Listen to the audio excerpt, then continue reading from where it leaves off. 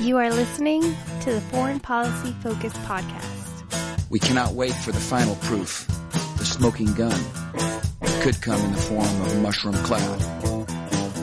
Haven't you driven enough people from their homes already? Bulldoze their villages, seize their property and their laws. They had no part in making it. Now working in Libya with friends and allies, we've demonstrated what collective action can achieve in the 21st century. Now the host of the show, Kyle Anzalone. This is episode 430 of the Foreign Policy Focus podcast. On today's show, I'm talking about the 2020 National Defense Authorization Act. This is the yearly funding bill for the Pentagon, and it's just full of our tax dollars being spent on needless wars and military equipment and this massive Pentagon bureaucracy, as well as it's spending the Pentagon and giving the executive and, uh, you know, the generals more war making powers. So hope you all can share the show. Find it online at the Libertarian Institute. The show along with the daily news roundup that I write are featured on the homepage and I do occasionally write featured articles that appear uh, at the Libertarian Institute as well. If you're a new listener to the show, subscribe to it. I got a lot of great content coming up and I don't want anybody to miss uh, any of the great shows I have uh, in the coming weeks. I will be uh, putting out content over the holidays. I know some other hosts like to take a break, and uh, I see it as an opportunity maybe for somebody who's not uh, quite the biggest name in the libertarian and peace movement having uh, some content out there that people may get to because uh, other people aren't releasing shows. So uh, I hope to have some great stuff over the holidays this year. And then uh, if you want to support the show, patreon.com slash foreign policy focus. All right, today's show will be a little bit different uh, as I'm breaking down an article that I actually wrote myself. Um, it's been quite a while since I wrote an article, and uh, I think the first one I really had published in two or three years, where uh, Will Porter wasn't my co-author. Although I will say, as always, uh, Will is very helpful in me getting any content out. Uh, you know, just a, a, great guy doing some copy editing for me and stuff like that. Uh, so make sure you're checking out Will's work, and I do plan to have him back on the show soon. But getting into this article, it's the 2020 NDAA is a rubber stamp for more war.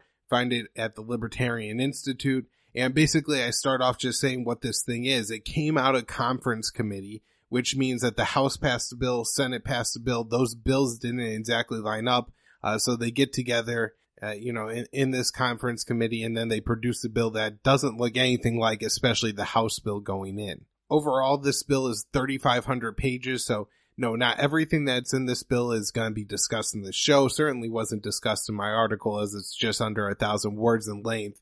so that's, you know, not even a word per page uh, of this huge document. Uh, the House, I believe, ends up passing it like 19 hours after it comes out of conference committee and the Senate's expected to pass it sometime this week. I think it's slated to be voted on on Wednesday. And so, you know, there's no way any human could possibly read this 3,500 page document, you know, especially as if you're independent and this isn't your day job, uh, to try to be informed on, on what Congress is voting on here. But I've been able to pick out a lot of it and I hopefully am able to highlight a lot of the worst stuff in this show. So, uh, $738 billion is the money we're giving the Pentagon. Uh, this is a $30 billion increase over last year. I will say this isn't total military spending that, you know, for the U.S. anyways. There's the, uh, OCO fund, which is basically the warfighting fund seen as basically a, a, slush fund for the Pentagon to do what they want with. Uh, the, the care and feeding of the U.S. nuclear weapons is a part of the Department of Energy, actually. And so that, you know, that is in part of this budget. I believe a lot of the, the Veterans Affairs stuff is, is separate. And then of course, all the actual, you know, like any kind of immigration stuff is typical. That funding is separate, although this bill does have some immigration stuff in it, I guess. So to talk a little bit different uh, about what came out of the conference committee, uh, talking about the two bills that went in and actually some good stuff that was in the House bill. Now, it's not like I necessarily was supported the House bill, uh, since it was still hundreds of billions of dollars in military funding going on here, but it included things like ending support for the, you know, US's role in the genocide going on in Yemen.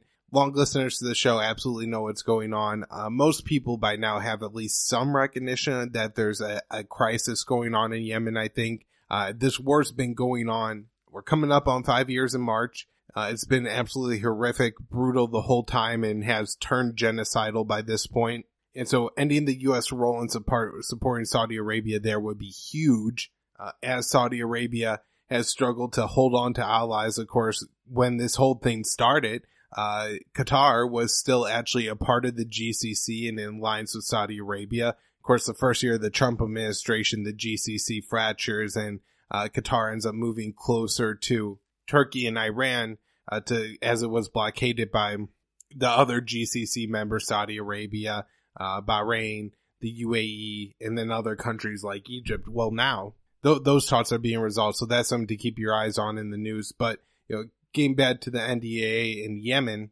uh, with the the support that Saudi has lost throughout the war. I've even seen reports that the Sudanese have reduced their troop presence in Yemen from 15,000 to 5,000. Seems like it would make the U.S. support all that much more critical. And if we start to withdraw that, then uh, maybe then Saudi Arabia really does have to push through and get some kind of deal done with the Houthis.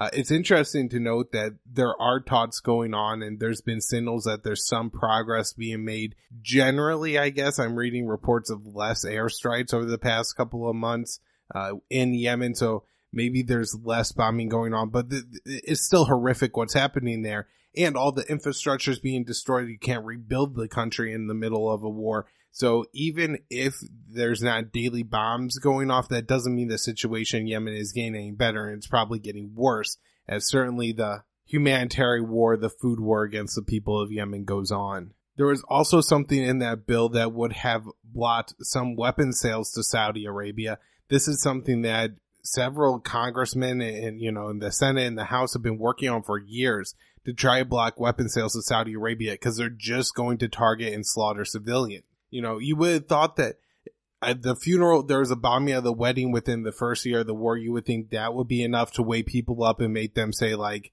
we're, we're supporting something here that's violent and awful and evil and we have to get out of it. Nope. Uh, dozens of people died there. Fast forward another year and a half or so, and you have the, the bombing of a funeral in downtown Sana'a, uh, a funeral hall packed with people uh, hit with multiple airstrikes. I've seen the video. It's disgusting and sickening. A hundred or more people dead. Uh, if you look at Western accounts, I think they put the toll there about 150. Uh, that was enough to get Obama to stop selling them one certain type of bombs, but generally the United States continued to sell Saudi Arabia weapons and provide all kinds of other support for that war, including forcing the blockade, uh, you know, aerial refueling that continued up until I think early this year or maybe late 2018. But maintenance, logistics, intelligence, all the other things that Saudi Arabia needs to carry out this air war. When Trump takes office, he goes back and allows the sale of weapons that Obama had cut off for that funeral bombing. And then I think it's August of 2018, a bus full of children in a Yemeni uh, city hit with a Saudi bomb likely made by the U.S., killing 40 something children. And that right there, I, you know, thought, well, that, that might do it. Now, a couple months later, they, you know, chop up and kill a journalist, Jamal Khashoggi.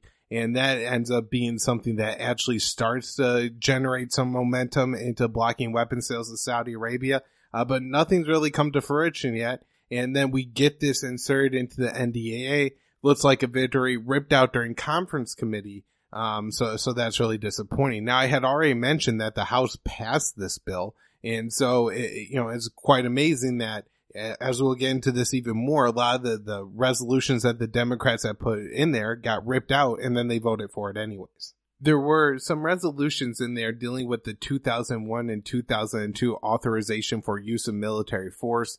Uh, this is what the U.S. used to start the wars in Iraq and Afghanistan but of course has been used to launch uh, dozens of military interventions from Niger to Pakistan since 2001. So this is something that really needs to, it's been a blank check for the White House to do whatever they want with these uh, AUMFs. And uh, Congress was actually looking to rein it in a little bit here, but no, that uh, again gets stripped out of the bill. One of the really helpful articles I read on this um, is by Chris Pebble, uh, Preble, excuse me, uh, a writer over at Cato on the foreign policy team. He's absolutely excellent. Uh, Preble's article is linked in my article, but he highlights this, uh, provision that would prevent Donald Trump from starting war with Iran without, you know, some kind of authorization from Congress. Now, should need to be said, but it does need to be said. And it was great that that was in there. That doesn't make it into the final version of the bill. This is really important because if we remember, Donald Trump at one point claims to be have been within minutes of, you know, carrying out this strike on Iran before he turned the bombers back. Turns out that that might not be the most accurate narrative, but it was Trump. So it, it is worth mentioning that that's, that's something we should be concerned about is that Donald Trump could launch an aggressive war against Iran. And Congress specifically restraining Trump on this would have been hugely important. Uh, look at the maximum pressure campaign and the situation it's now created in the Middle East where the U.S. is waging an economic war against Iran. The people are suffering uh, as the re- Iranian people try to, or the Iranian government adds out in response to this. Uh, the U.S. uses those responses as excuses uh, to escalate the situation even more. And, and Congress should draw a hard line with Donald Trump and say absolutely no military force without our involvement. I mean, they should force him to repeal the sanctions too, but that's not going to happen. Something that was supported by uh, House leadership, I believe, going all the way up to Adam Schiff, was this act within the NDA that would have prevented the president from deploying low yield nuclear weapons. This is something that the U.S. has been developing for the past few years, and these uh, per- present a particular danger as their use would be uh, quote unquote, like a strategic nuclear strike. Essentially, the, the claim is, is that if we use a small nuclear weapon, it won't trigger a massive nuclear war. And the Russians or the Chinese would say like, oh, you know, hell, what are we gonna do? The Americans show that they're, you know, willing to use nukes. I guess reminding the world that we're willing to use nukes. And so we'll bet down and give concessions. I guess, you know, that there's claim that this may work because nobody actually knows what's going to happen once nuclear bombs start going off and the other side has them, but it seems like an awful big risk and definitely not worth it. So it would be really important for the, you know, U.S. Congress to exercise some authority here and say, you know, we don't approve, uh, uh deploying these weapons. It's going to be something, you know, that's got to end up with other countries developing and deploying more of them, uh, like Russia and China and at a time where we should be working to reduce and eliminate nuclear weapons, we're going in the wrong direction. Maybe the biggest headline in coming out of the 2020 NDA is that the Space Force will be the sixth branch of the U.S. Armed Forces. They're getting $72.4 million to build a headquarters and who knows how much money this year and, you know, a decade from now when we're looking back, how much the Space Force is going to fleece us for. And that's a, a real problem that, you know, this is going to just be a bigger drain on all of our pockets, uh, U.S. taxpayer dollars in the U.S. economy. Uh, taking a space industry, you know, this is another point about it, is that, and something I don't mention in the article, but taking the space industry that's right now, uh, in a lot of ways for commercial use and starting to militarize that is going to, I'm sure, be a brain drain on kind of the civilian and technological and just overall, you know, economic boosting aspect of that industry as the Pentagon will just flood it with money. We're already seeing this happen with like the big tech industry. And, you know, rather than developing new and different apps to help us and empower our cell phones and make them all that much more useful and cooler, uh, they're going to be used for, you know, developing satellites that shoot lasers that take down other satellites. I think the biggest problem is is once state you know space, which is already I guess kind of militarized, but the U.S. creating the, the space force seems like just a concrete step where we could see that you know space is becoming more militarized, going to provoke some kind of arms race. I'm sure you know, especially major powers like China and Russia and India uh, are going to see what the U.S. is doing and try to replicate it because, you know, U.S. having dominance over space, especially if we start sticking nuclear weapons up there, uh, really, I guess would be domination over the planet below. And that's not something that, you know, people are going to be willing to accept. There's always a, a few things in the NDAA that really don't match what people's expectations of them are. Uh, one of the things is that the NDAA is creating a bureaucracy within the Department of the Defense and it's going to regulate housing for soldiers. I guess there's, well, soldiers and civilians working for the Department of Defense, which is millions and millions of Americans. So I'm sure this is going to be enough to have an impact on at least some markets.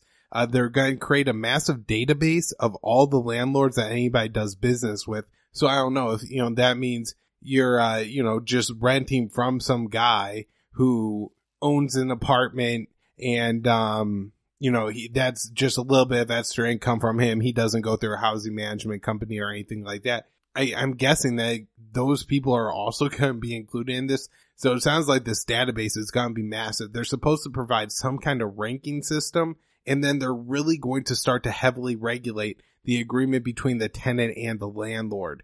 Uh, seems like this is going to be a huge mess and cause a lot of interference in the market. Uh, that's already got a lot of government interference and causing all kinds of dysregulations and distortions. The article I read on this cited a couple cases where I think there was lead paint and uh, housing didn't have carbon monoxide detectors. And so, you know, th- there is problems with housing, but certainly the Pentagon isn't the place to regulate that. And uh, I'm guessing the more government bureaucracy you have in between the relationship between the tenant and the landlord won't be helpful. The bill gives a 3% raise to soldiers and creates a civilian ROTC program. This sounded a little uh, disturbing to me. Uh, there wasn't a whole lot of details on it that I could find. Uh, the bill itself is pretty hard to read and understand, so actually kind of getting and bringing you all news at what's going to come of this civilian ROTC program it's a little difficult at this point, but it seems like it gives the Pentagon quite a bit of power in, in giving it direction. Uh, there are going to be bachelor degrees offerings at different schools. Uh, this is only going to have a few hundred people uh, enrolled in the first couple of years. They say there's not enough people to fill the positions at the Pentagon, probably because they have way too many of them. Uh, you know, positions to begin with, all those millions. And so I don't know if it's going to be helpful it did say there was some financial assistance. I know that's why some people get into ROTC is, uh, you know, financial assistance from the military anyways.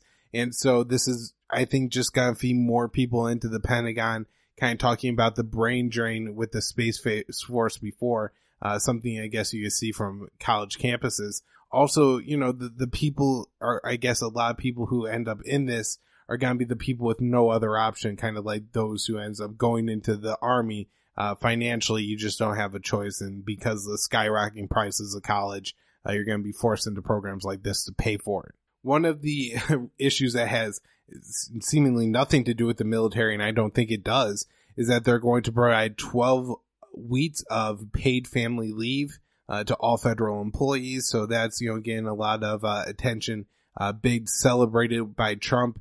So just to note that the sentence expected to pass, you know, they do these like consensus and they have an idea that uh, the sentence is going to pass this. Trump's already celebrating on Twitter. So it seems like this bill will become law within the next week. A couple things I don't talk about in my article uh, that I want to mention here is that there was some border security stuff in the bill that Trump celebrated having in there. Uh, and then there was a pretty good breakdown of some of the more liberal issues uh, and for that reason, I did include in my article. I say progressive issues and not use that word offend some of my left wing listeners, but you know, some of the issues like transgender in the military, apparently they passed a ban in this bill. And it, it is interesting as Jimmy Dore points out and just something that we see with the rest of this that uh, something like when Donald Trump initially announced banning transgender people from the military, there's this huge outrage by the left well, that's because you're kind of looking at a singular issue. But now,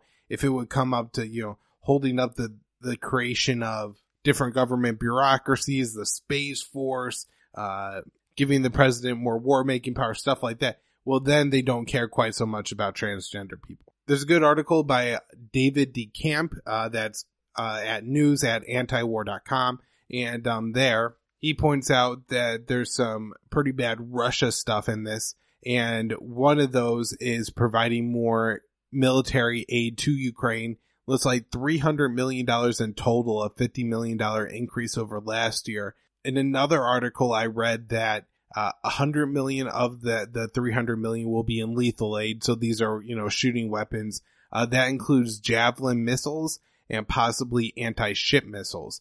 This could be important if you remember uh, back to I think spring of this year where there was the incident in the Kerch Strait where some Ukrainian ships violated the rules set forth by Russia from crossing into the Black Sea to the Sea of Azov through the Kerch Strait. Uh, this led to a little military confer- confrontation there. Different political circumstances. Maybe the Ukrainians try to escalate and they have these U.S. anti-ship missiles to do it. Could draw the U.S. into a bigger conflict with Russia. There's also in this bill a requirement for Trump to sanction ships that are helping, uh, I guess, install and get ready the new Nord Stream 2 pipeline, which is going to bring natural gas from Russia into Europe uh, by pipeline, probably far cheaper than the U.S., far more reliably than the U.S. can. And so, you know, kind of Trump's mercantilist policies are kicking in and he's looking at trying, well, Congress at least is looking at trying to cut this off.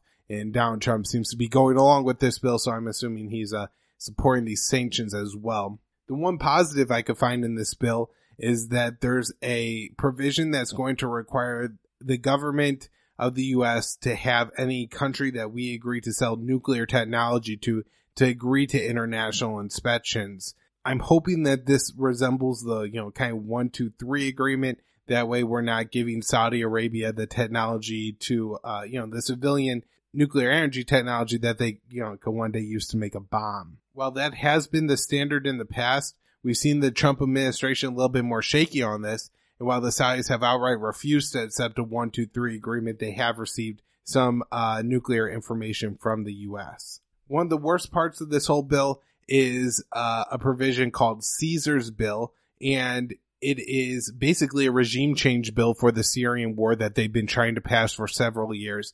It's going to sanction, uh, you know, Assad, the Syrian government, Iran, and Russia for committing war crimes in Syria.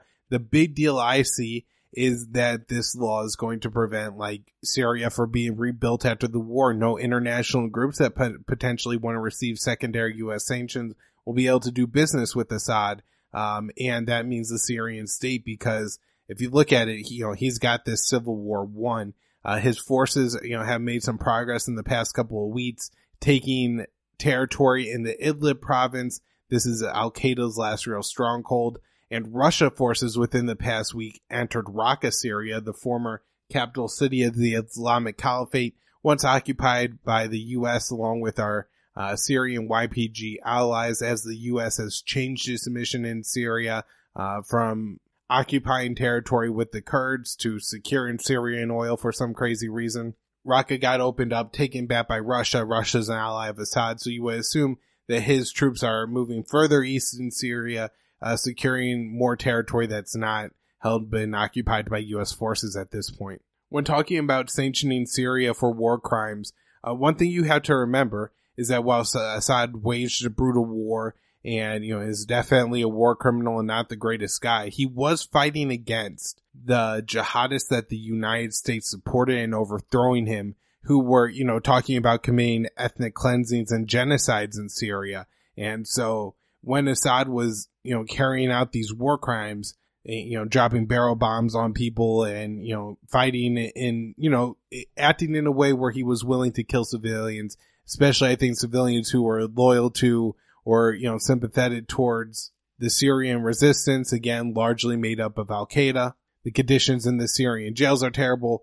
Uh, but again, all this started because of the U.S., Turkish, Qatari, uh, support for the Syrian opposition uh, that created all the, the jihadists and ISIS and the problems. Also, the biggest claims against the Assad government, uh, the chemical weapons attack, uh, are unsubstantiated. And, uh, you know, now the, the one they had was Duma and the OPCW is full of leaks with people coming out and saying that that report was garbage and there's really no evidence to indict inside, uh, Assad over that.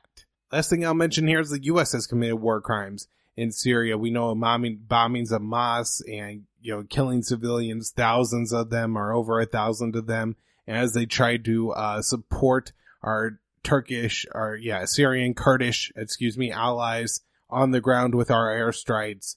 And so, you know, if we're sanctioning people for carrying out war crimes in uh, Syria, we should look at the Pentagon first. All right, everybody, that's what I have for you. Uh, there's a lot of other bad stuff in the NDAA uh, that I don't know about yet, but as uh, you know, I find out about, I'll bring it to you in future shows. As I said, I think I got some great shows coming up, so make sure you subscribe to it.